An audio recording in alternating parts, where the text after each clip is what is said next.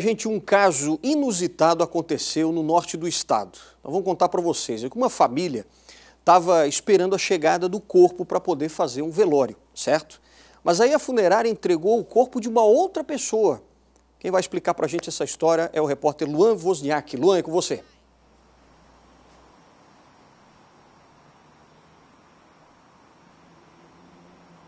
É, Alexandre, uma verdadeira confusão em um momento tão difícil para duas famílias.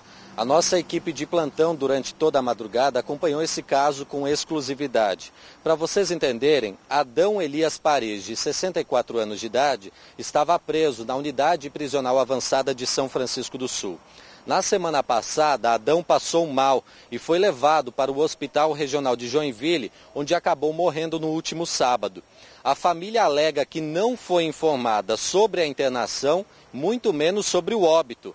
Ontem, quando ficaram sabendo, providenciaram o velório e aguardaram a chegada do corpo para dar início às despedidas. A surpresa foi quando a funerária abriu o caixão. O corpo não era de Adão e sim de Francisco Alberto Reis, também de 64 anos de idade, que deveria ter sido levado para o velório no município de Barra Velha. A funerária ainda insistiu com familiares que se tratava de, do parente deles, do próprio Adão.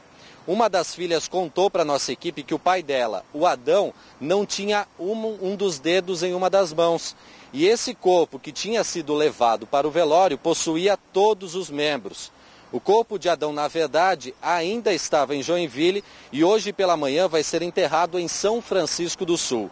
Os familiares de Barra Velha só ficaram sabendo que Francisco estava sendo velado, mas em outra cidade, pela nossa equipe de reportagem, viu, Alexandre? História que está dando o que falar.